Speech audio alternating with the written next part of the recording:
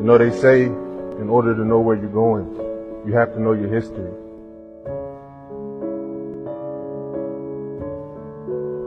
And if you look at our history, you see a lot of pain. We made it through the storm. We've been through hell.